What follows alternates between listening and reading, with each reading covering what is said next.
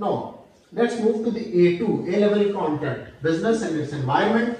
Uh, that has been made of that has been made section number six separately now. Uh, coming to the uh, first part of the section number six, uh, external influences on business activity, political and legal. we have already been teaching to those uh, to the students uh, as part of unit one in A levels, but now it's part of unit six in A levels now uh, the how the government might use laws and all that we have been already teaching to the students. Now, external influences includes economic influences now, uh, two that were already part of the syllabus, and social and demographic too, technological too, competitors, international should be especially focused now. So we should be teaching our students especially this environmental. And then uh, the topic 6.2 the strategy uh, that was the section number 6 originally and uh, we have made uh, the uh, topic 1 part that were originally from the unit number 1 we have made part of the section number 6 now as I have shown you. Uh, strategic management topic business strategy will teach all those things that we've been already teaching in the business the scenario planning is some new term here uh, five forces core competencies and so forth field C and field uh, and there is blue ocean strategy we will have to teach our students now. Uh, corporate planning uh, we have been already teaching now, contingency planning we have been already teaching so nothing new. Uh, coming to the uh, section number 7 organizational structure.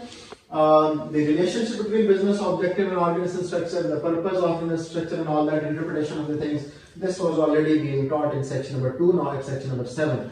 Uh, organizational structure continued. This was already we were teaching there. Level of hierarchy, chain of command, and uh, delayering and all that. Delegation, accountability, control, authority, trust, centralization, decentralization, line, staff management, and uh, the two point, uh, the originally stopped part of the section number two was uh, section number seven, business communication. We have been already teaching that. Uh, channels of communication, barriers to the communication, uh, the role of the management in facilitating communication we should be focusing now.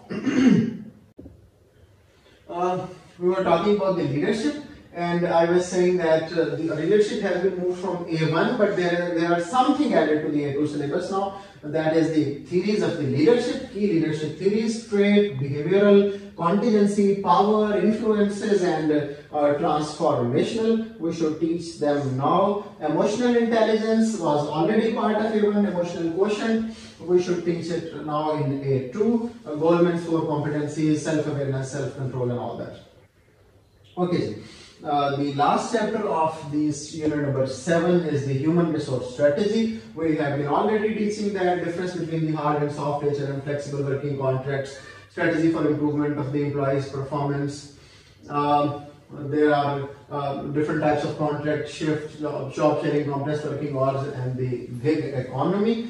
Uh, the changing roles of the information technology and artificial intelligence in HR. This is the new thing that has been added to syllabus, the changing roles of the information technology and artificial intelligence. Um, the role of artificial intelligence in whole syllabus is increasing actually, so we should be especially focusing on that.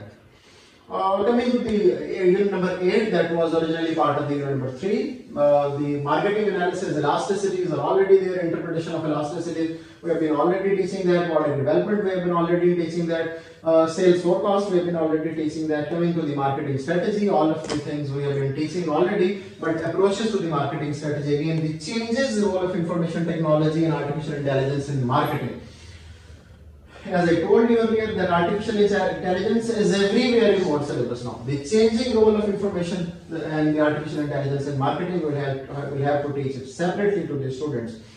Uh, strategies for international marketing, we have been already teaching that there is nothing new in that. Coming to the operations management, location and scale of operation has been added from A1 to A2. The impact of globalization on location and relocation decisions, this is especially to be focused that was already there offshoring and uh, and reshoring. We have been teaching to the students but we should be focusing on that because examiner may test such kind of stuff now.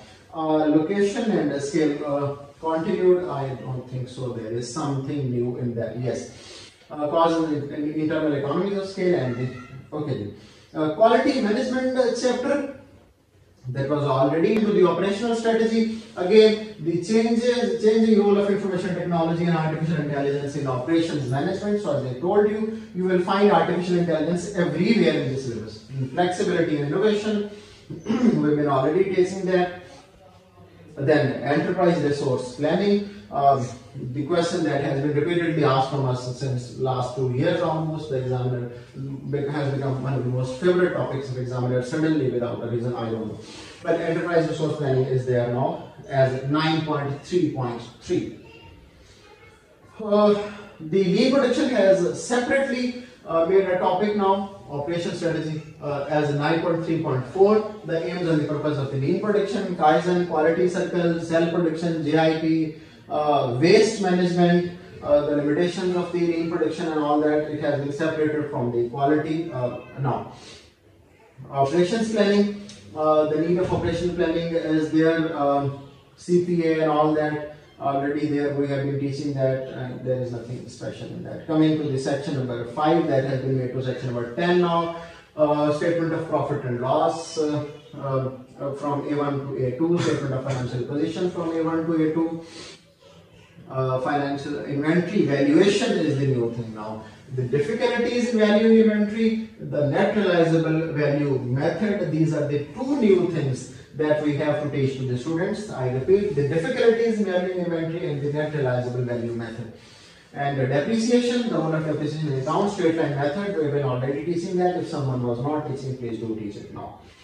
Uh, analysis of the published account, liquidity ratios, already teaching profitability ratios already teaching gross profit margin interpretation profit margins and methods of improving profitability. Then financial efficiency ratios. Um, financial efficiency trade receivable turnover trade payable turnover we will have to teach especially to the students now. Uh, methods of improving financial efficiency rate of inventory turnover we are already teaching.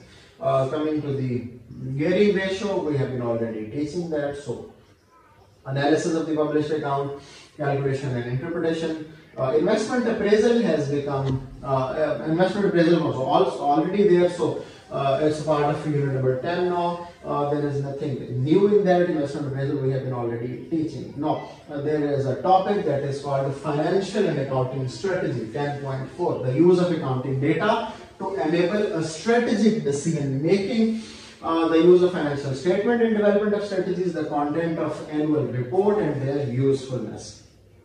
This will be continued with the financial accounting strategies, uh, the impact of debt equity on the decision making and all that. These are the things that we have will have to specially focus to teach the 2023 syllabus to avoid the confusion. Thank you to the examiner. He has provided us with some formulas too that, to be, that are to be used trade receivables, trade payables, investment ratios and all that. Thank you very much everyone for listening and uh, we will talk about in next video about uh, will I open uh, the mark schemes of these four papers in front of you and we will talk about. Thank you very much.